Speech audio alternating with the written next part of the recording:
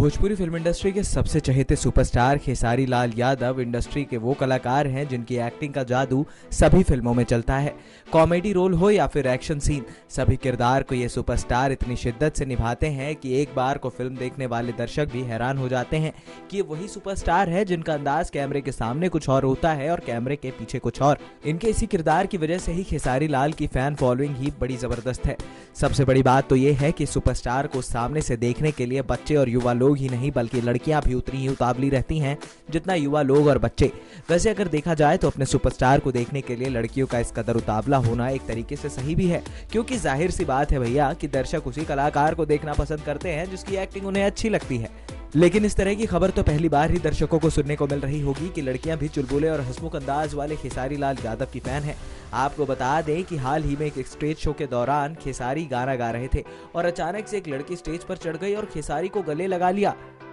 next nine news room के लिए अभिलाष की रिपोर्ट